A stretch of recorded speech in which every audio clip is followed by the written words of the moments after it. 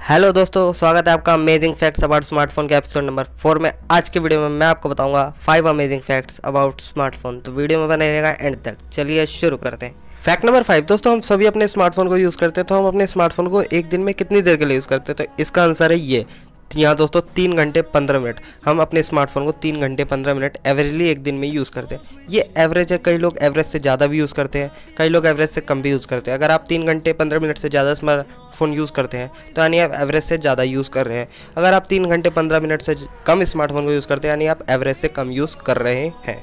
Fact number four क्या दोस्तों आपको पता है कि 2020 में कितने स्मार्टफ़ोन यूनिट्स को सेल किया गया था? तो उसका आंसर है ये। जी हाँ दोस्तों 395.9 मिलियन स्मार्टफ़ोन को 2020 में सेल किया था, जो कि अभी तक किसी भी साल में बिकने वाले स्मार्टफोनों की गिनती में सबसे ज़्यादा है।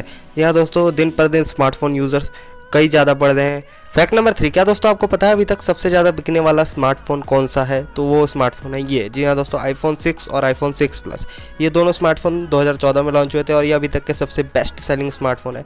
इनके 220 मिलियन यूनिट्स को वर्ल्ड वाइड सेल किया गया। इसलिए सबसे ज़्यादा बिकने वाले स्मार्टफ़ोन बन गए हैं। फैक्ट नंबर टू क्या दोस्तों आपको पता है जो हम स्मार्टफ़ोन यूज़ करते हैं, उसकी भी एक्सपायरी डेट होती है? तो उसकी एक्सपायरी डेट क्या होती है? तो उसका आंसर है ये। जी हाँ दोस्तों एक्सपायरी डेट एक स्मार्टफ़ोन की दो से तीन साल होती है। उसके बाद वो धीरे चलने लगता है।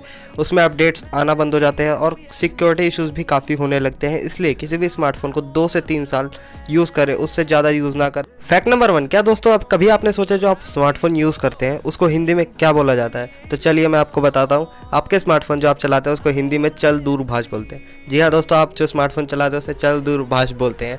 आज की वीडियो के लिए इतना ही। वीडियो पसंद आया तो वीडियो को लाइक करना, चैनल को सब्सक्राइब करना और मैं आपसे मिलता हूँ नेक्स्ट वीडियो में। तब तक के लिए जय हिंद, जय भारत।